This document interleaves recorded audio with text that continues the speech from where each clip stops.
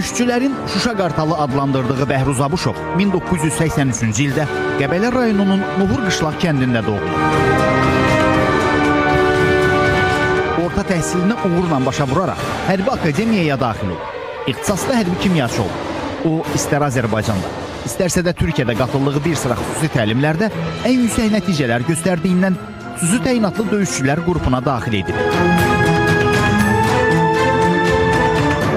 Vətən müharibəsi başlayandan daim ön cəbhədə olub.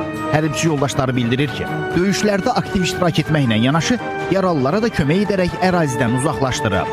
Döyüşlər başlayan gündən son günə kimi o bütün döyüşlərdə iştirak edib. Hətta onu da bildirmişsə, o döyüşlərin ortasında yaralanmışdı. Onu döyüşə buraxmağa da icazə vermirlər ki, döyüşə girmək olmaz. Amma o yenə də yaralı olaraq döyüşlərə qatıldı və sonda şəhid oldu. Məlum olub ki, o yaralı olanda da məktub yazıb və gizlicə döyüşə yollanıb. Halbuki yaraları ona problem yarada bilərdi. Polkovnik leytenant rütbəsi alan Bəhruz Abuşov Şuşa uğrunda gedən döyüşlərdə qəhrəmancasına şəhid olub. və ondan əvvəl yaralı olub çəkildi. Özü öz dilindən yazıb kağız qoyub ki, bəlkə sağ olmazsa getdi.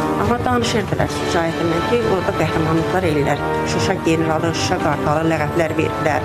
Murovdan başlayıb da bütün döyüşlərin hamısında olublar, təşkilat əsası. Son dəfə şükür aldım. Son dəfə. döyüşlər çətin.